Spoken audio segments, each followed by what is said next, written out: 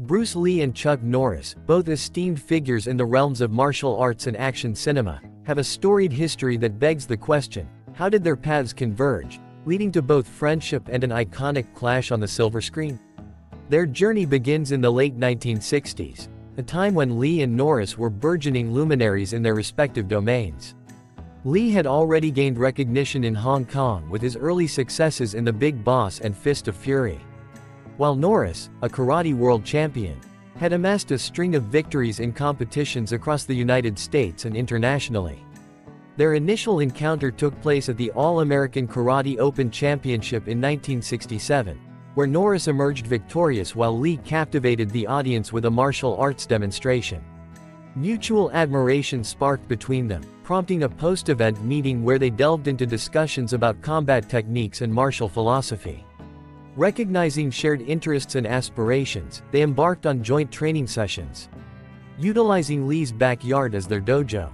Lee, renowned for his receptiveness to diverse martial arts influences, gleaned valuable insights from Norris, particularly in the realm of high kicking techniques.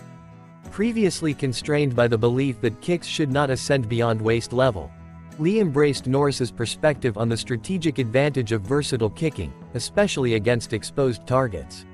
Within a mere six months of collaboration, Lee's proficiency in high kicks rivaled that of Norris. Conversely, Norris found himself captivated by Lee's swiftness, potency, and philosophical outlook. He absorbed lessons from Lee's innovative Jeet Kune Do, a martial philosophy advocating adaptability and directness in combat and life. Unlike conventional martial arts, Jeet Kune Do eschews rigid techniques in favor of fluid expression, emphasizing simplicity, immediacy, and autonomy. At its core lies the principle of interception, wherein practitioners preemptively counteract their opponent's movements or intentions. Necessitating acute awareness, rapid reflexes, and situational flexibility. Their friendship blossomed as they bonded over shared values of dedication and ardor. In Lee's words, research your own experience, absorb what is useful, reject what is useless, add what is essentially your own. This mantra epitomized their approach to martial arts and life, fostering an enduring camaraderie rooted in mutual respect and admiration. Their close bond paved the way for a collaboration in 1972, as Lee extended an invitation to Norris to feature in his third cinematic endeavor. Way of the Dragon, a project in which Lee assumed multiple roles as writer, director, and lead actor. Set in Hong Kong, this martial arts action comedy revolves around Tang Lung, portrayed by Lee, a skilled martial artist who ventures to Rome to aid a friend and her uncle facing threats from a local crime syndicate. Employing his kung fu prowess, Tang defends their restaurant against the assailants while immersing himself in the city's rich culture. The narrative reaches its zenith with an unforgettable confrontation between Tang and Colt. The hired enforcer of the crime boss, portrayed by Norris, amidst the historic backdrop of the Colosseum. Way of the Dragon enjoyed resounding success, surpassing expectations by amassing over $130 million in global box office receipts against a modest budget of $130,000 thereby achieving a remarkable thousandfold return on investment. Earning accolades as the highest-grossing film in Hong Kong for 1972 and breaking records upon its U.S. release as Return of the Dragon in 1974. It marked a groundbreaking milestone as the first Hong Kong production to claim the top spot at the American box office. Revered as a pinnacle of martial arts cinema, the film showcases Lee's multifaceted talents as a filmmaker and performer, epitomized by its iconic fight sequences such as the Nunchaku duel, alley skirmish, and climactic showdown with Norris. Beyond its cinematic spectacle, Way of the Dragon serves as a testament to Lee's martial philosophy, advocating adaptability, innovation, and self-expression. The final showdown between Lee and Norris, set within the ancient Colosseum, stands as a masterclass in martial arts choreography accentuating Lee's agility against Norris's formidable strength and endurance. Noteworthy for its realism, the sequence sees the combatants delivering blows with full force, underscored by a mutual display of respect evidenced by pre- and post-fight gestures of deference. Although Lee emerges victorious, the bout concludes with a poignant gesture of honor as he drapes his jacket over Norris's defeated form.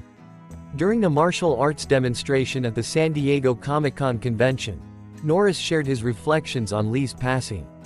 recounting a pivotal moment when Lee, cognizant of his own health challenges and habits, reached out with a visionary proposal for an unprecedented cinematic confrontation, positioning Norris as his esteemed adversary. During the martial arts demonstration at the San Diego Comic-Con convention, Norris elucidated his perspective on Lee's untimely demise, recounting a sequence of events preceding Lee's passing in Hong Kong while preparing for his next project, Game of Death. Norris attributed Lee's death to a fatal reaction between medications and supplements, leading to cerebral edema, a condition characterized by brain swelling. Several common treatment options encompass medications, surgical interventions, and oxygen therapy. The primary objective of treatment lies in reinstating adequate blood circulation and oxygen supply to the brain while mitigating swelling.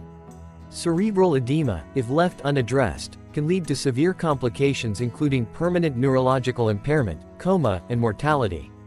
Tragically, notable individuals have succumbed to cerebral edema, such as Hollywood luminary Alan Ladd, renowned for his roles in iconic films like Shane and The Great Gatsby.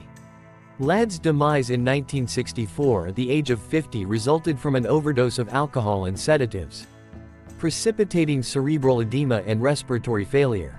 Similarly, acclaimed singer-songwriter Nicolette Larson, celebrated for her chart-topping track Lotta Love, passed away in 1997 at age 45 due to complications stemming from cerebral edema induced by liver failure.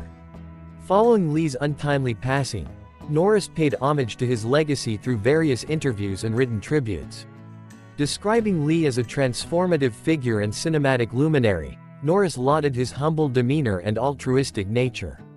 Citing Lee's profound influence on his personal and professional development, expressing regret over Lee's premature departure, Norris reflected on what could have been, envisioning Lee's continued growth and impact. Maintaining a close bond with Lee's family, particularly his son Brandon Lee, Norris assumed a mentoring role in Brandon's life.